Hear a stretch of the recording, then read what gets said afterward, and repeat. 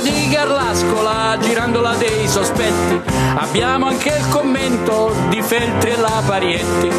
Cuccioli e padroni, l'incidente stradale, la dieta dei ciccioni, le vacanze di Natale. Buongiorno, questa mattina naturalmente ci occupiamo sempre del contesto, il contesto è quello di un'Italia spezzata, di un'Italia confusa, di un'Italia che sta cercando di entrare nella fase 2 e ne parliamo tra poco, però intanto noi dobbiamo affrontare anche l'attualità, l'attualità di ieri, dell'altro ieri e ancora di oggi, e l'attualità che riguarda la giustizia, perché anche la giustizia ha dovuto affrontare i problemi di emergenza del Covid, in particolare l'ha affrontata nelle carceri. Prima fase, grandi rivolte nelle carceri, grandi paure di contagi nelle carceri, paure anche giustificate, ma non soltanto per i detenuti, intendiamo anche per gli agenti di custodia, per la polizia penitenziaria. Abbiamo sentito spesso gli agenti qui dire anche noi dobbiamo avere degli apparati di difesa come, come, quelli che hanno tutti, le mascherine, le cose, e poi c'è un problema di distanziamento, nelle celle è difficile, eh?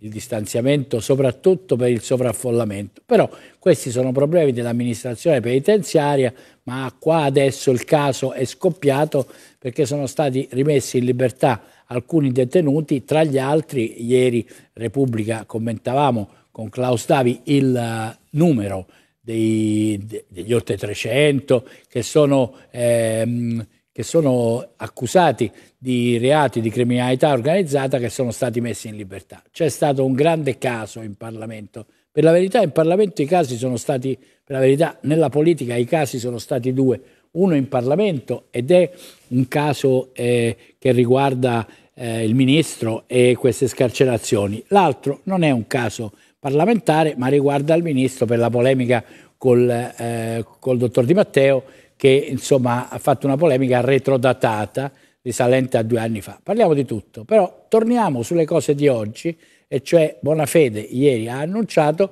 che sta preparando un decreto per riportare in carcere quelli che sono stati eh, tirati fuori. Ora, ci sono anche delle considerazioni su questo eh, da fare, però non le voglio fare io Voglio una spalla importante che è Attilio Bolsoni, l'abbiamo sentito più volte, lui lavora da anni eh, da Palermo, di queste cose si è occupato in tutte le fasi, nella fase della ricerca dei latitanti, delle carcerazioni, ora anche delle scarcerazioni, quindi noi lo, lo sentiamo volentieri, siamo collegati. Si è messo male anche, Attilio ti sei messo male anche te come succede a tanti, perché hai la luce alle spalle e quindi sei più scuro di quanto vorresti. Eh, se solo riesci a stare più di profilo, così. ecco, se solo fai questo sei illuminato e sembri meno, come dire, ecco, perfetto, perfetto bravo. Perfetto, perfetto, buongiorno direttore.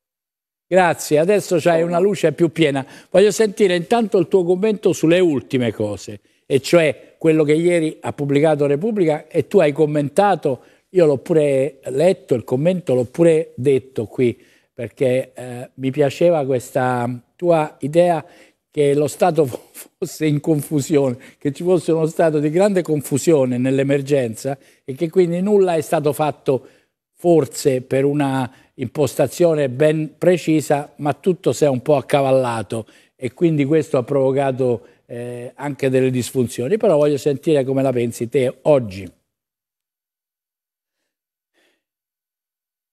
Allora, bu buongiorno. Intanto sono in confusione anch'io, devo eh, dirti, direttore. E eh, lo credo. Lo perché è una storia che non capisco fino in fondo. Non capisco fino in fondo, ci sono cose che mi sfuggono. Ehm, una cosa ce l'ho, penso di avercela chiara. Questo ministro della giustizia è inadeguato.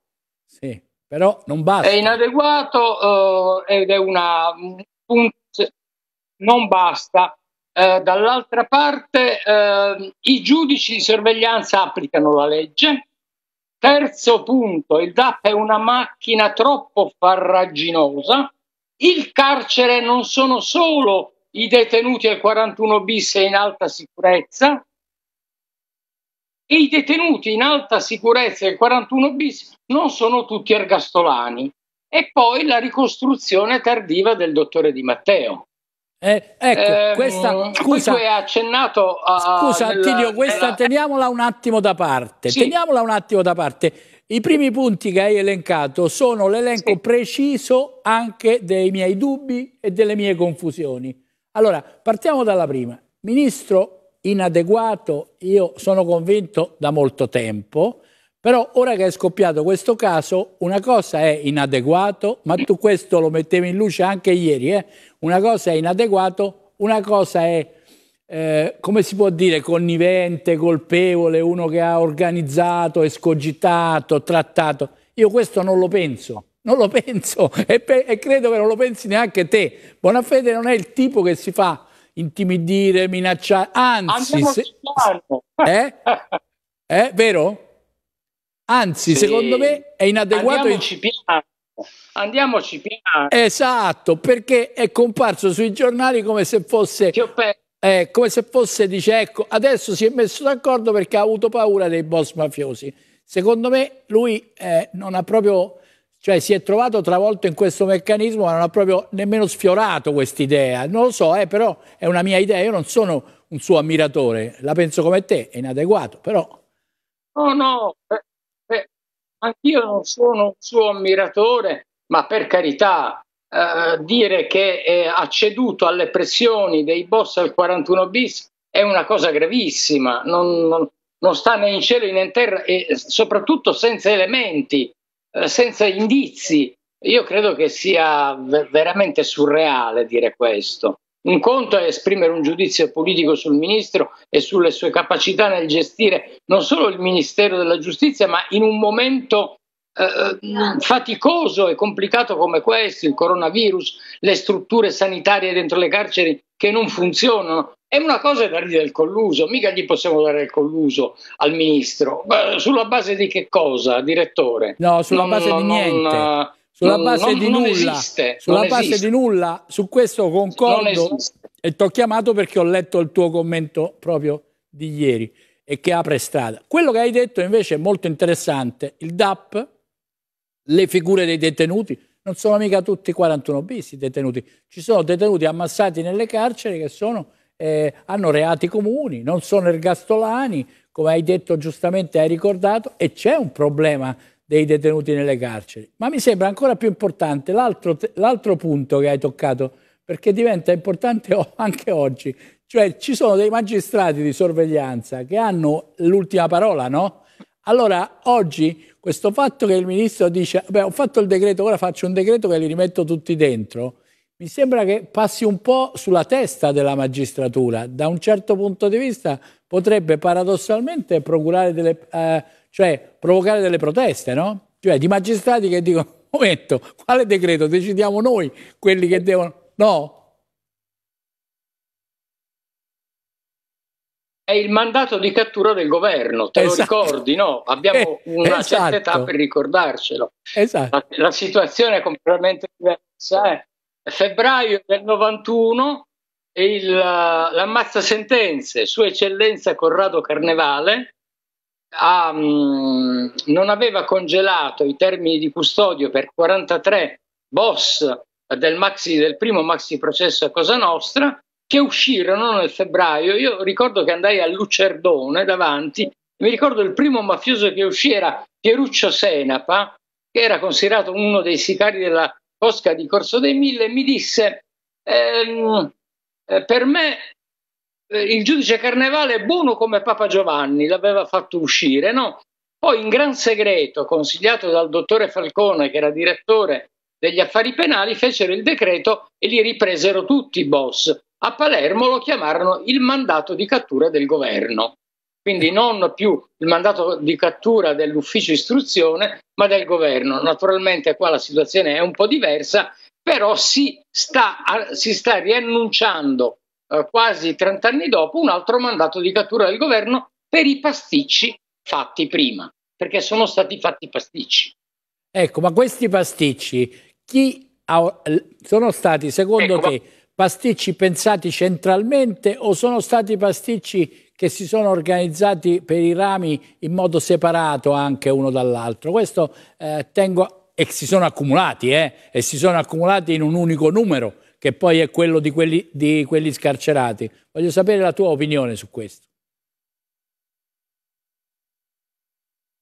Da, da quel poco che ho capito, non c'è una regia del pasticcio. Esatto. non c'è una regia, una trama del pasticcio. Credo che, non credo che ci sia una regia del pasticcio, la trama eh, del pasticcio, credo che ci siano, si siano accumulati in vari eh, rami dell'amministrazione eh, giudiziaria una serie di pasticci. Il primo caso, se vi ricordate, è quello di Bonura, Francesco Bonura, il boss scarcerato, eh, ehm, condannato mi pare a 16 anni e 8 mesi.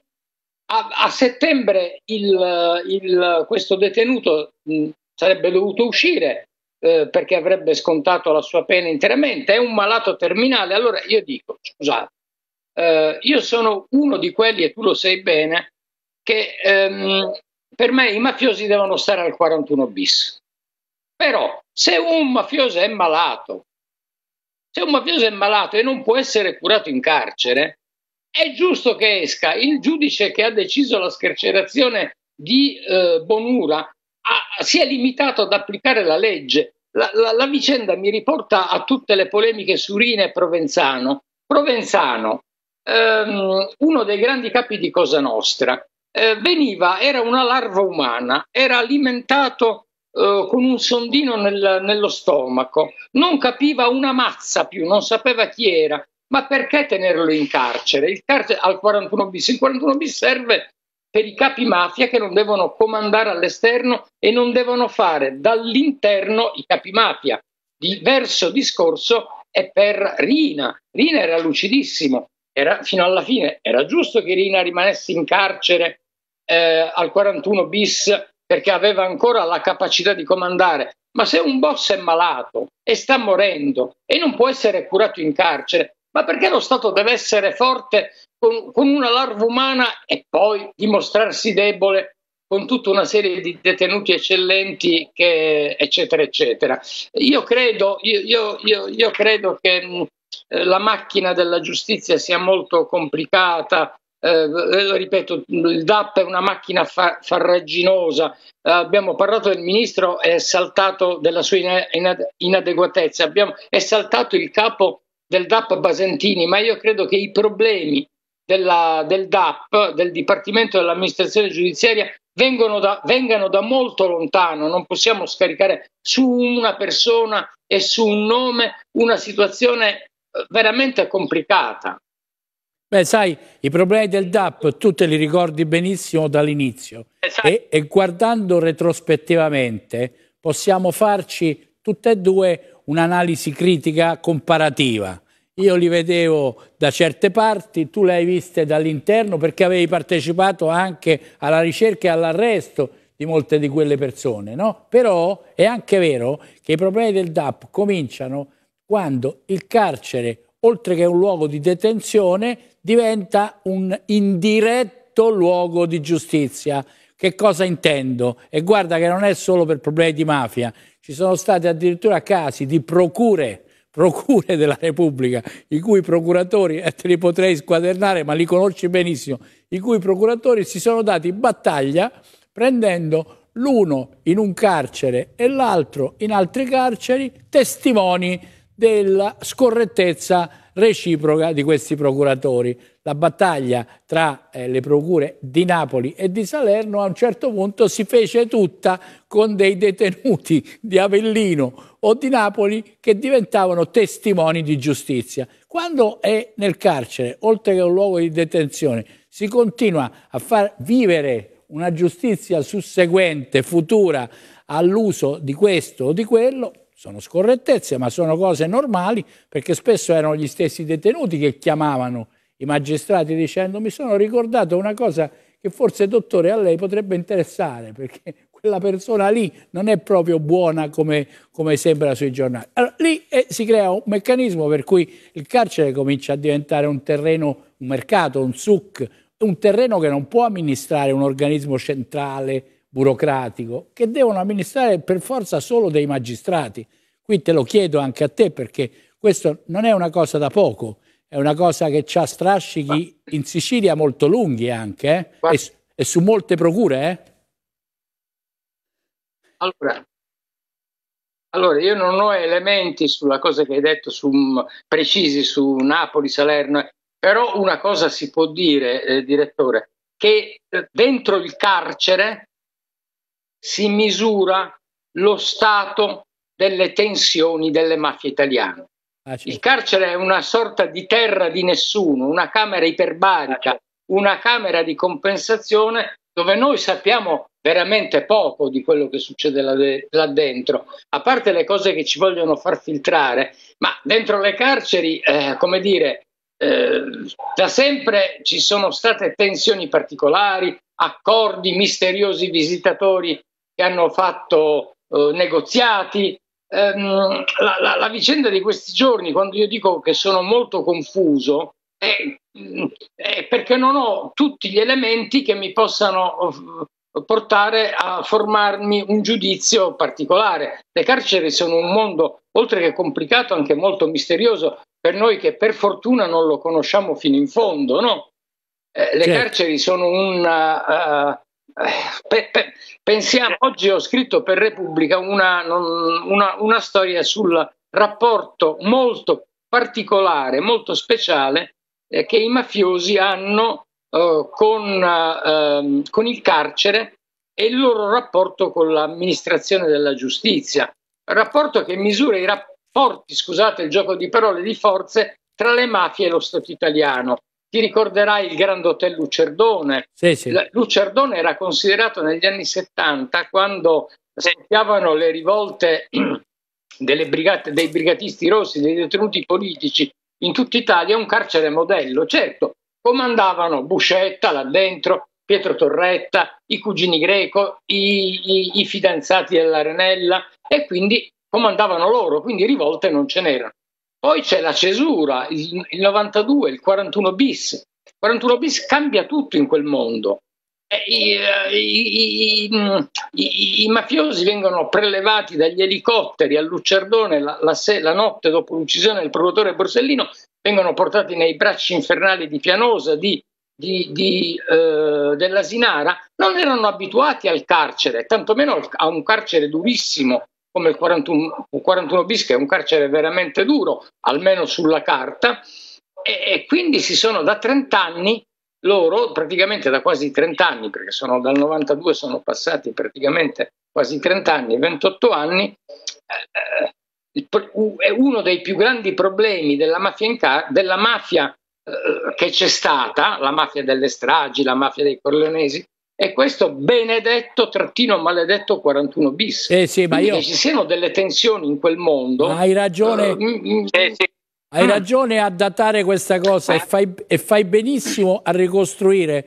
D'altra parte lo stai facendo anche con dei libri, ma in ogni caso fai benissimo anche sul giornale a ricostruire un processo storico, un cambio di passo che c'è stato, perché così tutti capiscono poi che c'è stato effettivamente un cambio di passo. Non è vero che lo Stato è rimasto sempre fermo, così che è stato sempre al, nella stessa maniera. C'è stato questo cambio di passo che nel tuo articolo c'è e potresti anche proseguire sul 41 bis. Noi abbiamo storie anche dell'inizio eh, drammatico, scioccante di alcuni di loro del 41 bis. Hai fatto i nomi di alcuni posti terribili, terribili che furono, usati, che furono usati anche per il terrorismo, lo sai, sai bene, eccetera. Però eh, io adesso, eh, sì, e poi di questo dovremo parlare, di questo vorrei sentire anche dei pareri politici, perché si parla spesso delle connivenze della politica, però uno poi dovrebbe mettersi seduto e dire ma chi lo fece il 41 bis, chi lo volle, come si fece, e fu bene, fu male, andò bene, andò male, questa cosa bisognerebbe ricostruirla, perché è sempre stato anche questo elemento di confusione. Però siccome abbiamo poi ancora un po' di tempo, io vorrei chiamarti invece sull'altro aspetto che ci ha pure confuso, no? il caso di Matteo. Cosa ha confuso me e magari è diverso da quello che ha confuso te? A me ha confuso il, eh, eh, il fatto che Di Matteo, il procuratore Di Matteo, a freddo, per la carica che ha adesso anche all'interno della magistratura, a freddo in una trasmissione completamente fuori contesto, è andato dritto sul ministro su un episodio non di ora, che attraverso la parola trattativa evoca una parola che si usa anche ora, ma che in realtà si riferisce a due anni fa.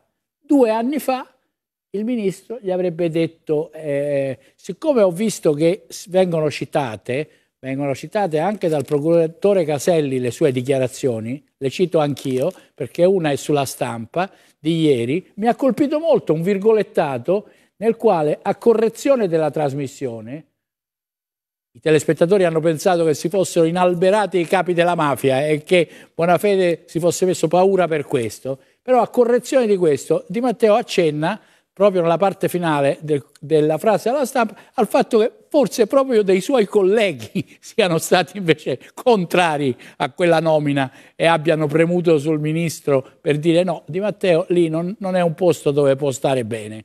Ecco, siccome lo dice lui e lo dice anche la stampa di ieri, l'avrai letta anche te, non è, non è un mistero, e allora questo mi ha fatto pensare che questa eh. cosa eh, postuma diciamo, molto antica, ma che richiama attenzioni dentro la magistratura, che ci sono sempre state, caso Palamara lo dimostra, la, la nomina al, alla Procura di Roma tormentatissima lo dimostra, ci sono naturalmente tensioni dentro la magistratura. Allora voglio sentire la tua.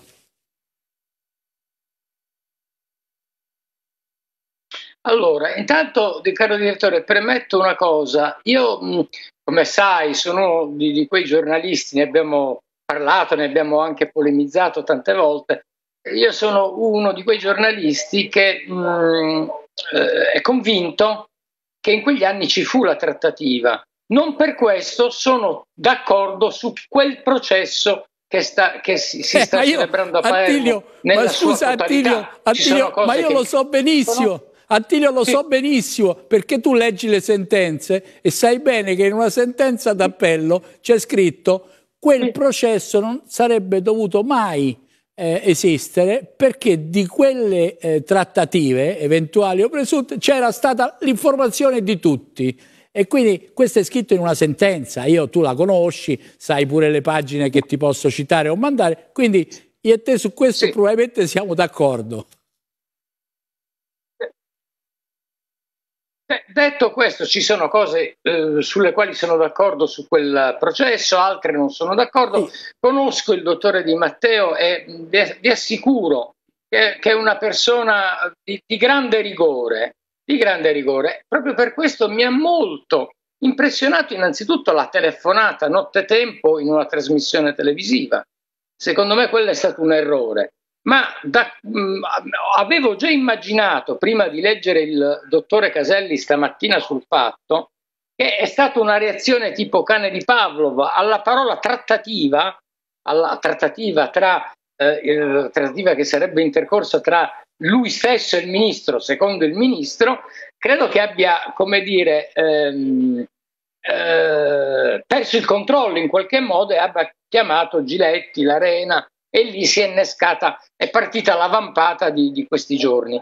Quello che capisco meno, quello che capisco meno è questa ricostruzione postuma, perché leggendo um, un pezzo di Salvo Palazzolo su Repubblica già nel 2018 e un pezzo di Marco Lillo già nel 2018 sul fatto, queste cose di cui stiamo parlando erano già state scritte. Quindi questa um, vampata eh, si è inserita nel casino, nel pasticcio delle scarcerazioni, eh, del coronavirus, delle decisioni dei magistrati. Eh, tutto questo mh, però voglio dire una cosa, mi dicono, qua c'ho un appunto, che di questi 373 eh, mafiosi ehm, scarcerati, eh, solo tre sono al 41 bis, gli altri sono in alta sicurezza, quindi solo tre al 41 bis e degli altri 193 di questi scarcerati sono in attesa di giudizio, quindi senza una condanna in primo grado. Eh. Eh cioè, certo. sono dati molto precisi che eh, al di là della propaganda e del casino, oh, stiamo attenti. Poi, poi uno, uno, può essere d'accordo su una cosa, tifare per questo partito o altro partito, però i numeri sono numeri. Solo tre al 41 bis sono stati scarcerati, gli altri sono in alta sicurezza e 193 in attesa di giudizio. Cosa voglio dire? I mafiosi, vogliamo dargli l'ergastolo al reato di mafia, vogliamo dargli la sedia elettrica, vogliamo dargli l'impiccagione, l'iniezione letale, la ghigliottina. Siccome tutte queste cose non ci sono, ma ci sono delle leggi, le leggi bisogna rispettarle. Io non caricherei di responsabilità nemmeno i giudici di sorveglianza. Eh, lì piuttosto c'è una cosa più che il parere consultivo della procura antimafia, giusto anche quello. Io fa, mh, mm, alcuni tecnici spiegano che non bisogna caricare solo su un giudice di sorveglianza la responsabilità eh, di, queste, ehm, di, queste, decisioni. Eh, sarebbe più opportuno che ci fosse un collegio, quindi una decisione collegiale più serena, più equilibrata. Eh, insomma, ci sono tante cose di cui discutere. Siamo partiti da, da Di Matteo. Io credo che direttore, ci, ci, sia molta confusione, troppa gente credo. che grida, troppa gente che mh, fa propaganda, troppi slogan. Eh? Lo credo pure, credo la stessa cosa. Ti ringrazio non molto ti per questa ricostruzione minuziosa dal punto di vista numerico, perché non è numerico, è un fatto di giustizia. Cioè è una bella differenza, eh? 41 bis, alta sorveglianza e in attesa di giudizio. Se noi non facciamo queste differenze, sì, tra i mafiosi, ma anche tra eh. i detenuti comuni, anche tra i detenuti comuni, noi non abbiamo fatto nessuna differenza sull'uso della giustizia, quindi hai detto cose da professionista esperto. L'altra cosa per cui ti ringrazio è che hai eh, sottolineato la stessa cosa che era il mio dubbio, il mandato di cattura di governo, l'hai chiamato così, l'abbiamo chiamato così ai tempi che ci furono, sì. eh, però è, è, questo che succederà per rimettere una pezza. Certe volte la toppa può essere peggio del buco, ecco, questo diciamo noi e stiamo attenti a non aumentare confusione. L'ultima cosa che hai detto su Di Matteo la condivido, che è quella della estemporaneità della telefonata, per ricordare una cosa, Caselli la giustifica con la eh, perdita di, di compos, come dice, allora ha perso la testa perché ha sentito la trattativa. È possibile, però insomma eh, Di Matteo non è uno qualsiasi, come ha perso la testa, ha fatto la procura di Palermo, quella di Caltanissetta, procuratore, CSM, gli abbiamo affidato, gli ha affidato lo Stato responsabilità enormi io penso che il ministro da un certo punto di vista è più giustificabile se ha una sua sprovvedutezza, perché il ministro è più nuovo di questo mestiere di quanto non lo sia Di Matteo. E qui mi fermo perché altrimenti un'altra volta poi faremo qualcosa sul caso Borsellino, che è una cosa pazzesca che ha attraversato la Sicilia e che vede dei protagonisti, anche magistrati che hanno scritto cose, ma non ne voglio parlare ora.